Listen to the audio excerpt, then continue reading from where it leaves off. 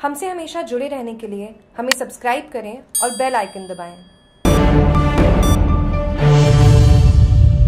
CBI ने Kamlesh encounter का scene recreate किया। एनकाउंटर में शामिल पुलिस अधिकारियों व जवानों को बुलवाकर करवाया सीन रिक्रिएट बहुचर्चित कमलेश एनकाउंटर मामले की जाँच कर रही सीबीआई ने शुक्रवार को एनकाउंटर स्थल पर घटना का सीन रिक्रिएट करवाया।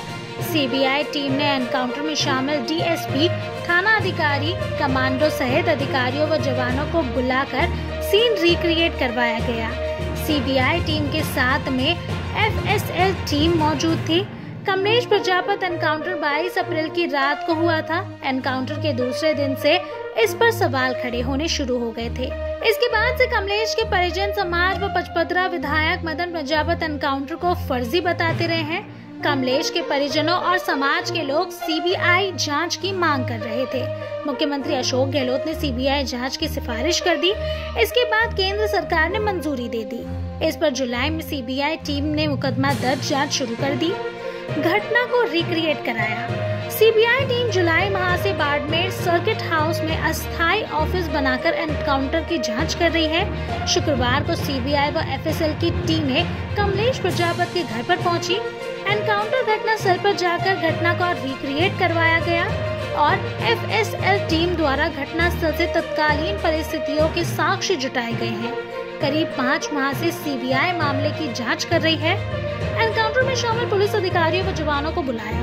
कमलेश प्रजापत के कथित एनकाउंटर में एससी, एसटी सेल उप अधीक्षक पुष्पेंद्र आढ़ा के नेतृत्व में ग्रामीण थाना अधिकारी पर्वत सिंह, कोतवाली थाना अधिकारी प्रेम प्रकाश, सदर थाना अधिकारी राम निवास बिशोई हेड कांस्टेबल मेहरा राम, जिला स्पेशल टीम प्रभारी महिपाल सिंह चौटन डीएसपी नारायण सिंह सहित पुलिस के जवानों को घटना स्थल पर बुलाया गया। शुक्रवार को एनकाउंटर स्थल पर घटनाक्रम का सीन रिक्रिएट करवाया गया।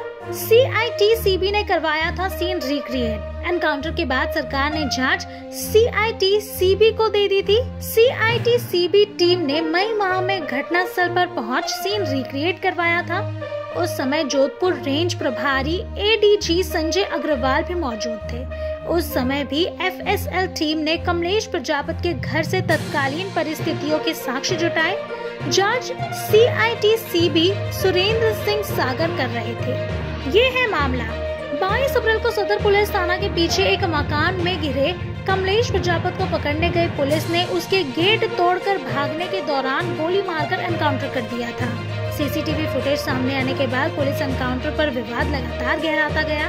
एनकाउंटर सवालों के घेरे में आ गया था। कमलेश प्रजापत की पोस्टमार्टम रिपोर्ट आने के बाद संदेह का घेरा और बढ़ गया था। जागरूक टीवी की बाढ़ में से ठाकर राम मेघवाल की रिपोर्ट।